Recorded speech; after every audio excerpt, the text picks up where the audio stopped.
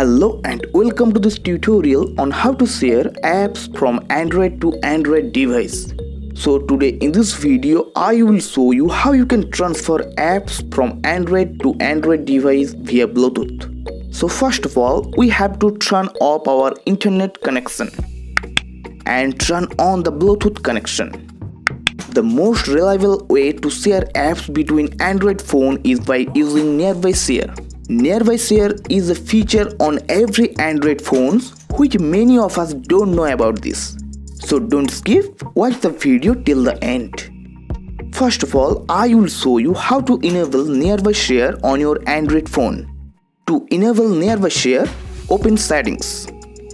After that, just scroll down. Then here you click on Google. After that, click on devices and sharing then click on nearby share.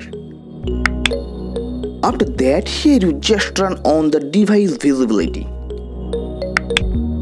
Then here you click on data. After that, here you select without internet.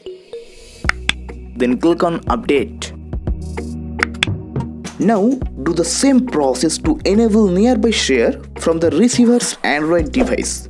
If you haven't subscribed this channel then subscribe to it and press the bell icon to get notification of new videos. And now I will show you how you can share to transfer apps from one Android phone to another. First of all open Google Play Store on the sender's Android phone. Then click on profile picture icon at the top right corner. After that click on manage apps and device. Now do the same process on receiver's Android device.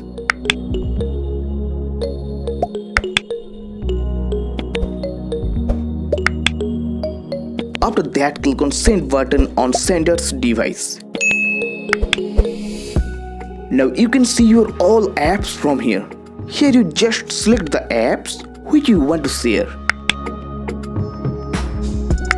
After that click on send icon at the top right corner and now click on receive on the receiver's device. Once the receiver click on receive button, the device is displayed on the sender's Android phone. Just click on it. Then a pairing code appears on both devices.